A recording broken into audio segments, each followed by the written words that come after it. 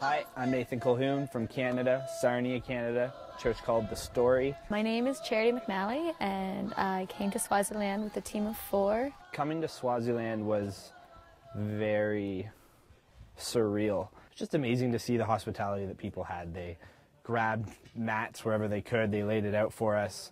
One family um, gave us a whole thing of bananas just because we prayed for them. We went to um, one home to visit a family, and the mother was sick, and all her children were there taking care of her. And when we left the house, the children walked us back to the car, and one of the girls said to me, You know, we are poor and we are suffering, and people in the West, they are rich, but we have to all be different or we'd never know God.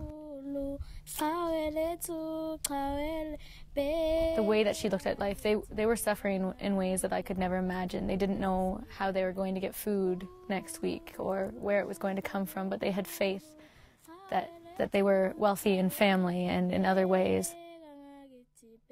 If you don't come here or if you don't have this kind of experience, it's, it'll become very easy to get wrapped up in things that don't matter because down here it's very raw, it's very um, authentic to who humans are, not just who the West is or how white people live over here in this country, but this is, this is what it means to be a human and it's very different. So people need to come. People need to just just eat with the people here, sleep under the same kind of roof that people live here, um, hang out with the children here.